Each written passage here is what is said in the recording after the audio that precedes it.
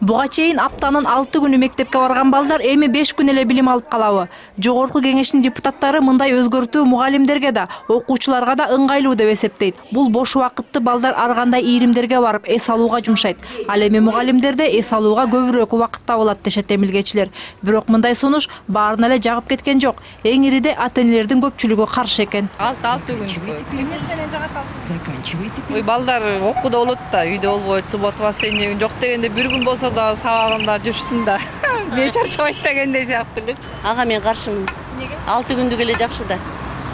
Себеби ар кимдин сааты сетка часов ар кандай анан бирөөнүкү бир күнү беш саат болуп калат. Мисалы математиктерге физиктерге кыйын эле болуп калат анан. Мисалы биологдорго бизге оңоюраак болот.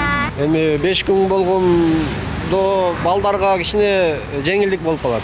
Эгер алты күн кылса өздөрүнүн знаниясына билимин алганына жакшы болот го деп эле ойлойм алты күнгө эле мен макулмун сиздин балдарыңыз барда э балдарым бар бирөө студентка бирөө мектепте окуйт ушу жетимиште ошол алты күн болсо эле жакшы деп ойлойм алты күн болсо эле жакшы деп ойлойм баарыбыз илгертен бери эле алты күн окуп келатабыз анан азыр эле беш күн кылып койсо болбой калат го бирок мындайда ата эне менен окуучунун пикири акыркы болуп эске алынат азырынча билим берүү министрлиги сунуш боюнча бир жаңсыл чечим кабыл ала элек министр өкмөттө орун басарлары иш ордунда жок болгондуктан комментарий алууга мүмкүн болбоду бирок мектептерге жуманын канча күнү сабак өтүлөөрүн өз ыңгайыңарга карап чечип алгыла дептир бишкек шаарындагы кырк сегизинчи мектептин жамааты учурда жаңы окуу жылынын программасын аныктап жатат мындагы мугалимдер беш күндүк билим берүүгө өтүү башталгыч класстар үчүн ыңгайлуу болгону менен жогорку класстарга мындай ыкма туура келбейт дешет В пятых-шестых это получается по учебному плану. бул бешинчи алтынчы класстын окуучуларына ылайыктуу себеби окуу планы боюнча беш күндө алты сабактан туура келет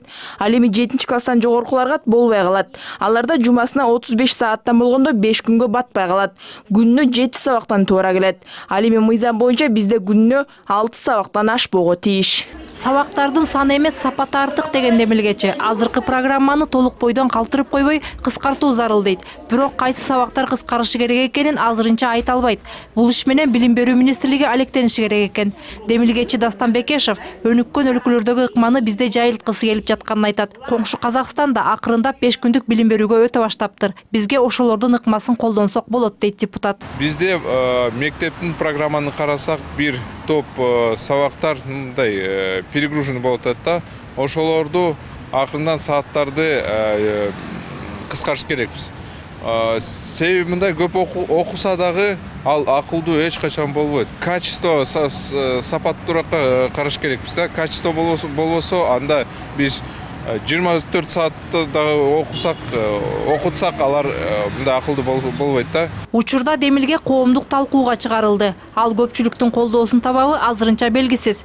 Бирок демилгеге каршы болгон эксперттер ата энелер жана окуучулар арасында тескери үгүт жүргүзүүнү пландап жатышат. Алардын пикиринде сааттарды кыскартуу мугалимдердин маянасынын азаюусуна алып келет. Буга кошумча өзгөртүүлөр билим берүү тармагынын ташталканын чыгарышы ыктымал деген да пикирлер орун алууда мээрим ташыбекова александр симонов нтс